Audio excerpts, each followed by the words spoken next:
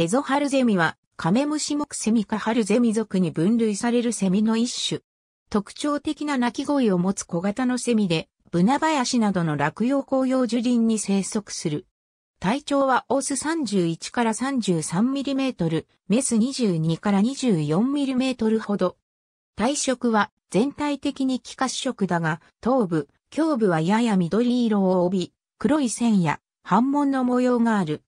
同族のハルゼミより色が淡く、ハルゼミというよりむしろ日暮らしを小さくしたような外見をしている。冷涼な地域のブナなどで構成された落葉紅葉樹林に生息する。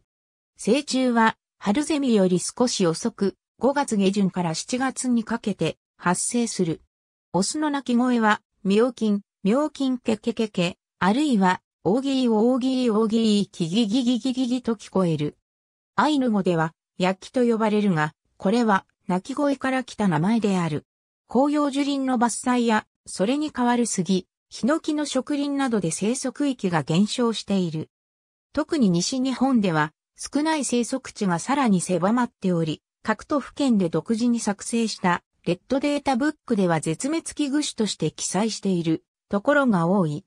北海道、本州、四国、九州、日本以外では中国にも分布する。和名にエゾとあるが、北海道以外にも分布している。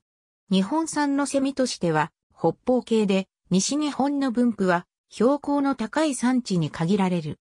生息南限は、鹿児島県、宮崎県境の霧島山、鹿児島県の紫大山とされている。また、西日本の生息地では、コエゾゼミティバイセンバイオマタスと同所的に見られる。北海道では多くの地域で最もメジャーなセミで、最盛期には森林や低山帯で無数の鳴き声が聞かれる。またこのセミは、本州以南でいうところの日暮らしのようなセミで、純粋な森林性であるため、市街地で鳴き声が聞かれることは少ない。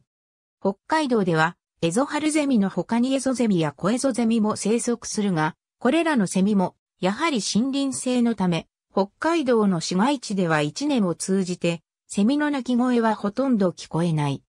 なお、札幌市の郊外など一部の地域では、市街地でも小エゾゼミが年々少しずつ増えているという報告もある。ありがとうございます。